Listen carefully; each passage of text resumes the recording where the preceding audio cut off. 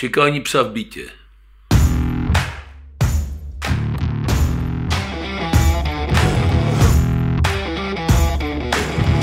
V tomto videu bych se chtěl tomuto závažnému problému věnovat. Každý nemá tu možnost, že eh, má psa někde jako v klidu bokem, já jim na dědině, a navíc neruší své okolí, své sousedy.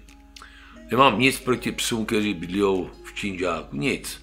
Sám jsem to poznal a jsem si jistý, že ten pes je daleko, má víc eh, pozornosti než ten pes, který má parádní kotec a kterého si nikdo ani v lice nevšimne.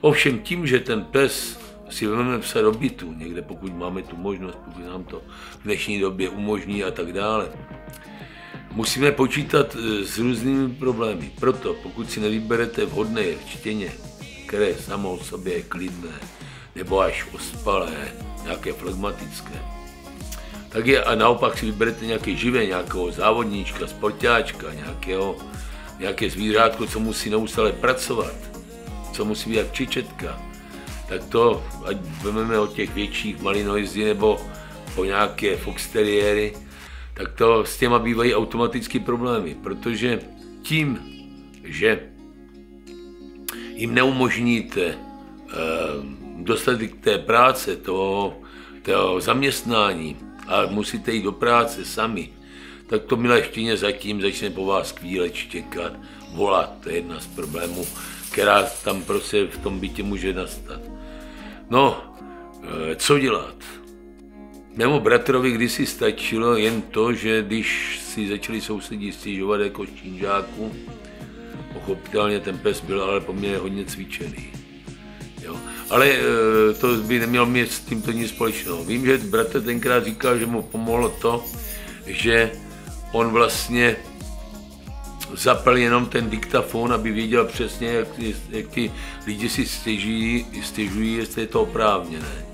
A milý Tomáš, to byl taky dobrý, obrovský, měl hlas jak, jak zvon, tak milý Tomáš vždycky jak zaslechl při tom štěkání, nebo jak začal štěkat, že to tam nějak scvaklo, seplo, začalo se točí pásky, tak prostě přestal.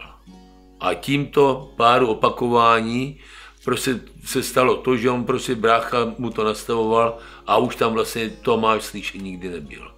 Jo? Takže to je takové nejideálnější. Jinak obecně, prosím vás, takové štěstí mít asi ne, nemusíte, nebudete. Protože tam mohlo být sehrání víc věcí, které na něho působily, počínají už tím výcvikem, který sice s tím neměl nic společného, ale dnes byl hodně opracovaný. Čili můžete mít příčka, který neumí vůbec nic, ale prostě řádí, dovádí, snaží se vylomit dveře a štěká, jak mu vy odejdete. V tom případě doporučuji předem krmit, předem psa unavit vyběháním, dát mu za nějakou zátěž. Kolikrát je ideální, když mu dáte nějakou psychickou zátěž i, co myslím pod psychickou zátěží, třeba jestli to bude takový nějaký eh, šíba nebo něco malý psík, tak ho třeba postavíme na stůl a tam na tom stole s ním dělejte takto polohy, třeba z chvilku, tři minuty, jenom mechanicky, třeba bez pomalu. Ten pes, když musí stát a e, zapírat se drápkama, než si na to zvykne na ten stůl a tak dále. Je to pro něho hodně psychicky vyčerpávající. Ale pozor, tím, že se mu věnujeme, tak to nemusí být zase jenom o nějakém, že to musí být jako špatné. Každopádně se mu ale tím, že se nás snaží zavděčit nebo to splnit, tak se mu namáhá nervová soustava, stejně se dá dělat na u maličkého psa a i na žalícím prkně.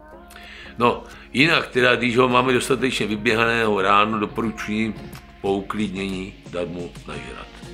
Normálně dát mu tu půlku té krmné dávky, protože stejně potom jdeme do práce a každé zvíře, pokud se teda nabaští, tak potom spí.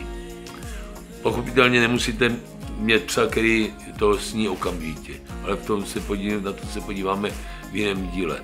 Teď bych se zaměřil na to, že to teda sní a pokračoval dál, to znamená, máte možnost buď toho psa oddělit do samostatné nějaké místnosti, která bude dostatečně daleko od toho jádra, od někde od toho schodiště, i když tam stejně slyšou sousedí, takže víte, kde mají ložnice nad váma, pod váma, tak možná co nejdál, pokud tam nějaký ti směnáři spijou.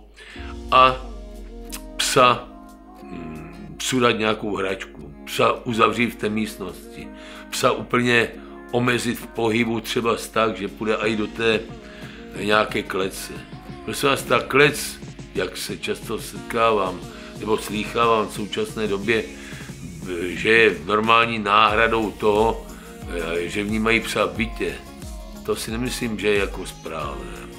Ale proto, aby vám nezdemolovala tak na první jeden, dva, tři měsíce je ideální. A na to štěkání, toto ty předchozí eh, dvě mi pomohou a po, no, by měli pomoct. A pokud ne, tak dřív jsem neuznával elektronické pomůcky. Dneska taky nepotřebuji učit psa přes elektriku při volání. Naučím to vždycky. Ale to bych aj cítil jako potupu. Ale spíš e, vidím obrovskou výhodu v tom e, proti šikacím vojku.